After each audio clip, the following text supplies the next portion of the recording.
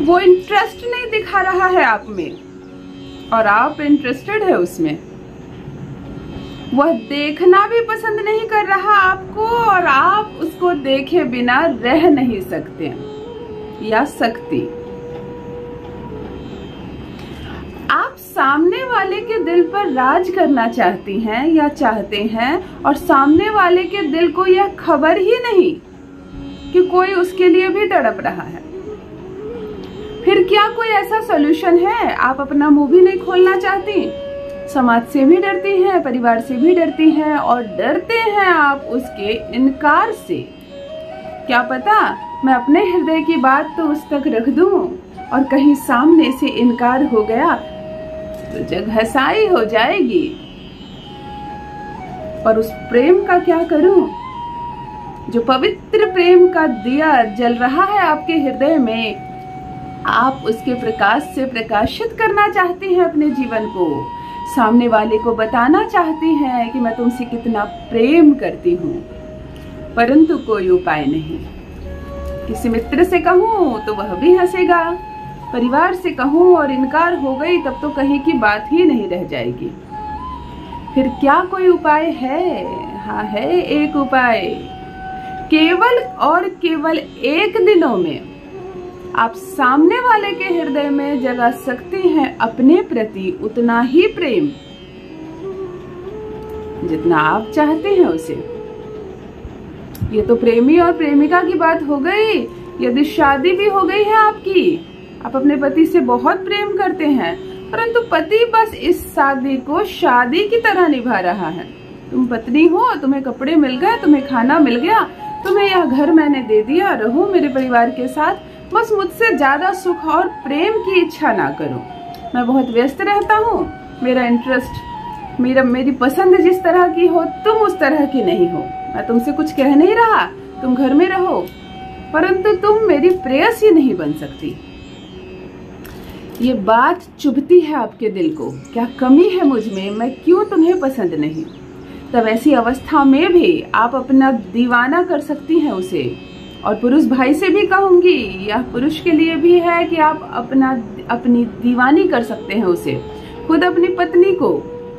कभी कभी लड़कियों की पसंद ऐसी होती है, शादी तो आपसे हो गई माता पिता की राज़ी से उसने शादी तो कर ली आपकी, पर हमेशा ख्वाब में डूबी रहती है, मुझे ऐसा लड़का मिलता तो मैं ज़्यादा सुखी रहती, मुझे ऐसा लड़का, एक लड़का कॉलेज में था, मैंने इनकार कर दिया, तुमसे पहले जो रिश्ता आया था, मेरी किस्मत खराब थी, मैंने इनकार कर दिया मतलब आप जहाँ संसार सौंप रहे हैं अपनी पत्नी को, वह अलग ही पसंद की दुनिया में खोई है। तो ऐसी अवस्था में भी आप यह प्रयोग करें। केवल एक दिन में आप सामने वाले के हृदय में अपने लिए प्रेम जगा सकते हैं।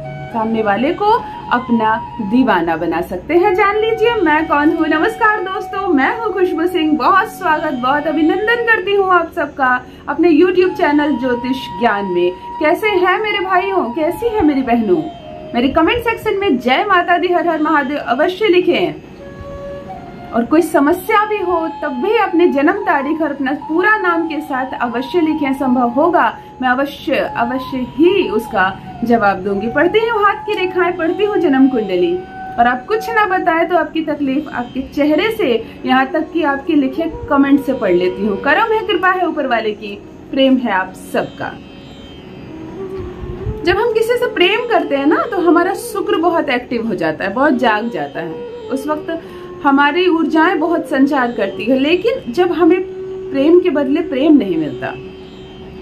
और ये तो हुई प्रेम की बातें, प्रेम ना मिलना तो एक बात है। जब प्रेम के बदले अपमान मिलने लगे, तब तो हृदय की पीड़ा और अधिक बढ़ जाती है। आज जो टेक्निक बता रही हूँ, आज जो प्रयोग बता रही हूँ, आपके शुक्र को दस गुना ज़्यादा बढ़ा देगा। आपके भीतर का अट्रैक्शन इतना बढ़ेगा आप अपने घर बैठे बैठे यह प्रयोग करके सामने वाले के हृदय में अपने लिए प्रेम, स्नेह और सम्मान जगा सकते हैं, उसे अपना दीवाना बना सकते हैं। चलिए विस्तार से बताती हूँ किस दिन करना है, यह प्रयोग कैसे करना है, भूलकर भी कोई गलती ना करें। छोटा सा वशीकरण है, परंतु पूर्ण विश्वास के साथ करें। ये विश्वास ही तो है जो हर कदम में आपको जीत दिला रहा है। केवल और केवल सब दिन को त्याग कर शुक्ल पक्ष के शुक्रवार के दिन करे यह प्रयोग। एक छोटा सा सफ़ेद कागज़ का टुकड़ा ले, केवल सफ़ेद शुक्र है। यह प्रयोग कहाँ करना है? अपने बेडरूम में। बेडरूम का मालिक भी शुक्र होता है। बिस्तर पर बैठकर ना करें, ज़मीन पर बैठकर करें, परंतु बेडरूम में ही बैठे। बेड में जो चादर बिछी हो, वो हल्की गुलाबी रंग की या सफ़ेद चादर बिछा दें? आज की रात्रि आपको हल्की गुलाबी या सफ़ेद चादर पर ही सोना है। वैसे भी अपने कमरे को बहुत ज़्यादा लाल पीला पेंट ना कराएँ, बहुत ज़्यादा रंगीन चादर ना बिछाएँ बेडरूम में। शुक्र को बहुत एक्टिव रखना है तो फीके रंग का प्रयोग करें, हल्की गुलाबी, हल्की लाल या सफ़ेद रंग का प्रयोग ज़्यादा से ज़्यादा बेडरूम में करें, हल्का रखें कलर को। और काली कोई चीज़ ना टांगे तब आप लव को बहुत अट्रैक्ट कर पाएँगे। एक शीशे के गिलास में थोड़ा सा जल ले लें। थोड़ा ही लें हाफ़ ग्लास भी ले सकते हैं फुल ग्लास भी ले सकते हैं। संपूर्ण पीना है आपको तो इतना ही पानी लें। पानी को बर्बाद ना करें। चंद्रमा बिगड़ता है।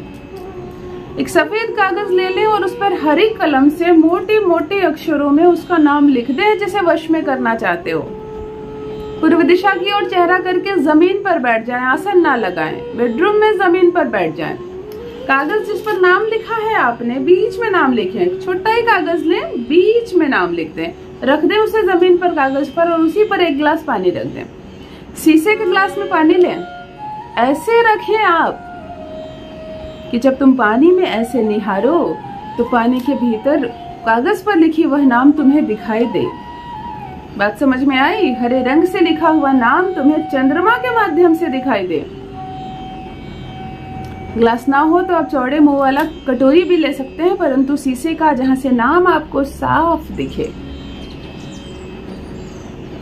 शांत मन से बैठ जाओ, गहरी लंबी सांस लो, थोड़ा अपने इष्ट को जप लो, मन शांत रखो। आज तुम वो कर रही हो जो अन्य कोई नहीं करेगा तुम्हारे लिए।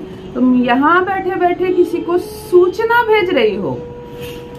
अपनी ये उंगली सेकंड कनिष्ठा उंगली के बाद वाली उंगली को जल में डुबाओ। उसके नाम को छूने की कोशिश करो, जल के माध्यम से। हाथ साफ़ रखना, हाथ धोकर रखना, इस जल को पीना है तुम्हें। जल में डुबाकर उसके नाम को टच लो। शीशा इसलिए लिया है, गया है कि शीशा की गिनती किसी भी एलिमेंट्स में नहीं होती, उसका कोई प्रभाव, दुष्प्रभाव नहीं होता है। आपने छुआ उसके नाम को, परंतु चंद्रमा के माध्यम से। शुक्र और चंद्रमा का अद्भुत मेल है। यह दोनों मिल जाए तो अट्रैक्शन बढ़ता है, दाम्पत्य सुख मिलता है लव मैरिज होती है। सामने वाला दीवाना रहता है आपका। यह है शुक्र और चंद्रमा। वही शुक्र के साथ राहु बैठ जाए तो फिर झगड़े होते हैं, दुख होता है। नाम को आपने टच किया। ग्यारह बार उसका नाम ले। जिस नाम को आपने लिया है, लिखा है, ग्यारह बार उसका नाम ले और उसके बाद इस जल से उंगली उठाकर अपने दिल पर रखें, हृदय पर रखें। इसी उंगली को, पूरे हाथ को नहीं, केवल इसी उंगली को हृदय पर रखें। कुछ क्षणों के लिए आँखें बंद करें, उसकी अनुभूति करें। इतनी गहरी अनुभूति करें, उससे वो कहना चाहे जो आप मुख से नहीं कह सकते। अपनी सारी बातें कह दें, अनुभूति करें, उसे सामने लाएँ और अपनी सारी बातें कह दें। इस क्षण लॉ ऑफ़ अट्रैक्शन का नियम कार्य कर रहा है। तुम उसे जो कहोगी, उसका हृदय अवश्य सुनेगा। अब अच्छी गहरी अनुभूति करके अपनी सारी बातें उससे कह दें। आई लव यू कहना चाहती हूँ, कह दो, मैं तुमसे प्रेम करती हूँ। जल्द ही तुम्हारे साथ विवाह के पवित्र बंधन में बंधना चाहती हूँ। मैं तुमसे बहुत ज़्यादा प्रेम करती हूँ। उसे अवश्य कहे हृदय पर अपनी इस उंगली को रख कर ऐसा कहने के बाद आँखें खोले उस जल को देखें और सीधे जल को उठाकर पी जाए। संपूर्ण जल पी जाए। इस बीच मस्तिष्क मस्तिष्क में कोई अन्य बातें ना आए। कोई क्रोध, कोई द्वेष, कोई माता पिता की बातें, खाना क्या बनाना है, बच्चे हल्ला कर रहे हैं, जैसी कोई भी बातें ना आए मस्तिष्क में। शांत हो मस्तिष्क। दिन के समय करें यह प्रयोग? जल संपूर्ण पीने के बाद वह जो नाम आपने लिखा है, उसे पुड़िया बाँध दे बिल्कुल मोड़ दें और किसी भी जल में फेंक दें।